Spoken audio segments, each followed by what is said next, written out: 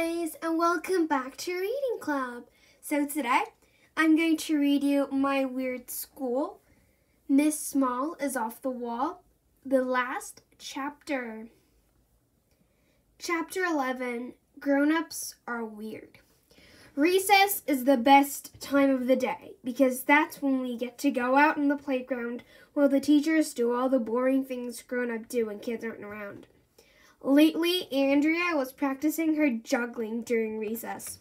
She put on her dumb show, and kids in the other classes would gather around and watch, like she was famous or something. But today, Andrea wasn't juggling. She and Emily were just sitting on the monkey bars looking all serious, like the world was about to end. Me and Michael and Ryan couldn't resist going over to bug them. What's the matter with you? I asked Andrea. Did you set your house on fire while you were juggling? No, she said. We're worried about Miss Small. What about her? asked Ryan. We're afraid she might die, Emily said. What? I said. You're nuts. All she did was break her leg. Miss Small is a quarter of a century old, Andrea said. That's like ancient. Old ladies aren't supposed to run around and jump up and down and play games all the time. Old people are supposed to sit around talking about the weather and eating and reading the newspaper and complaining about the kids today and telling us to be quiet. Miss Small doesn't do any of those things. She's like a big kid. She grew tall, but she never grew up. My dad is a doctor, said Emily. He told me that when old people fall down, they can get hurt really badly. They can even die. Wow, I didn't know that.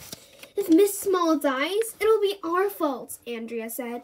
For a while, nobody said anything. Maybe Andrea was right for once in her life. We've got to do something, said Emily. We should talk to her, Andrea said. We need to tell her she has to grow up and act mature like other adults. So all of us, me, Michael, Ryan, Andrea, and Emily, went around the school to the gym. We figured that's where Miss Small would be during recess. Shh, Andrea said as we snuck around the corner. If Principal Klutz catches us, we could be in big trouble. Me and Michael and Ryan got down on our hands and knees and pretended to be undercover agents on a secret police mission. It was cool. Finally, we reached the back door to the gym. We may have to pick the lock like they always do in police movies, Ryan whispered. Then they run inside and shout, Freeze, dirtbags! No, Michael said. In the movies, they kick the door in with their feet and shout, Freeze, dirtbags. No, they don't, I told them. They use bombs to blow the door off the hinges.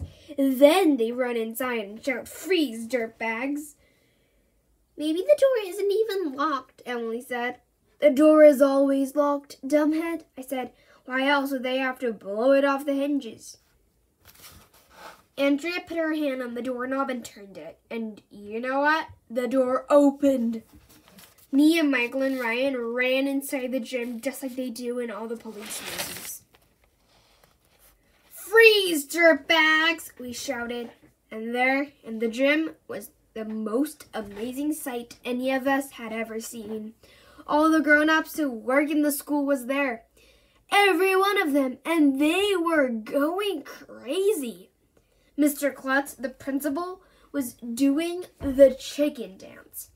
Our teacher, Miss Daisy, was playing hopscotch. Mrs. Roopy, our librarian, was hula hooping. Miss Hannah, our art teacher, was jumping rope. Miss Small was clapping her hands and singing that annoying hillbilly music. All the other teachers were doing the limbo and other equally weird stuff. They all stopped what they were doing and stared at me and Michael and Ryan. What are you doing here, boys? Miss Small asked. Uh, I looked at Ryan and Michael. They were doing that whistling thing you do when you want to pretend you didn't do anything wrong. I didn't know what to do. I didn't know what to say. I had to think fast. The question is, what are you doing here? I asked. Why aren't you all sitting around talking about the weather and eating and drinking coffee and reading the newspaper and doing other grown up stuff?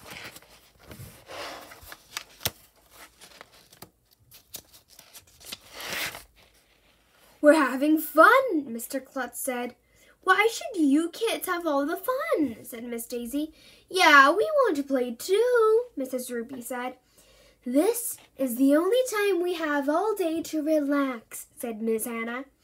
Yeah, said all the other grown-ups. Lighten up. Grown-ups are weird. Me and Michael and Ryan ran out of there as fast as we could and went back to the playground. I hoped that Miss Daisy wouldn't tell my mom and dad that I called all the grown-ups at our school dirtbags. Back on the playground, we decided that Miss Small really does have a serious problem. And now it's spreading to all the other teachers. Somehow, we're gonna have to think of a way to make Miss Small grow up and act mature and boring like a normal adult. But it won't be easy.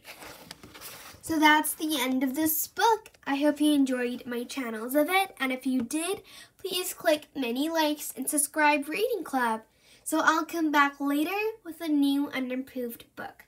Bye everybody, see you later!